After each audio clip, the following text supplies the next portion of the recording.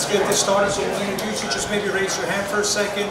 Uh, goalkeeper Patrick Rakovsky, okay, from Germany. You don't speak a little German, him for the guys who want to learn that. Abraham Romero, raise your hands, just step forward and say hello. Abraham, thank you. Danny Foundes, very good. Michael Orozco, our team captain, but he had another appointment to go to. Uh, Kevin Alston. Brent Richards.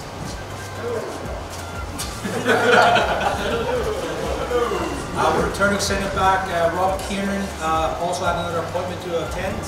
Uh, Nathan Smith. One of our young asset players, Kobi Henry. Second front, Kobe, you can't see you behind Hero. There you go. Uh, Seth Casiple. Where's Seth? There you go. Chris Wehan. Brian Iloski. Come on, Brian. There you go. Mikko Kuningas. Tommy McCabe. Jackie Parato. Jackie, you gonna sing one for us or no? Not today. All right. Raymond Trey. Uh, for the guys who watched the ESPN Top 10 this morning of Not Golf, uh, Francis Jacobs. Thomas Enevoldsen. Adam Jan. Eero Markkanen. Darwin Jones. Ronaldo Damus.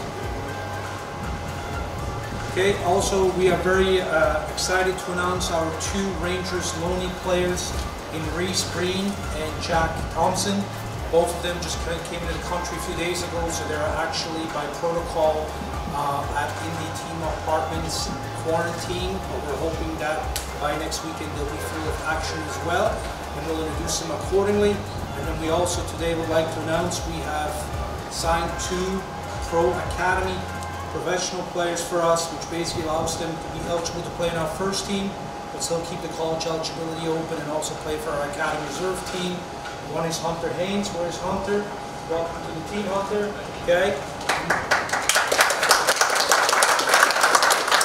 Absolutely, and uh, also Anthony Anderson cannot be here today because he actually at school, which is all part of the stuff as well too. So, but with that said, this is the uh, 2021 Orange County Soccer Club roster. Uh, we're very excited. We might add one or two more players during the year. As you know, this is a very compact season with many, many games. But we feel we have a roster assembled here, along with our first-class uh, coaching staff, that will bring a USL Championship uh, to Orange County this year. So thank you very much, and I will leave it open to questions for any of the players.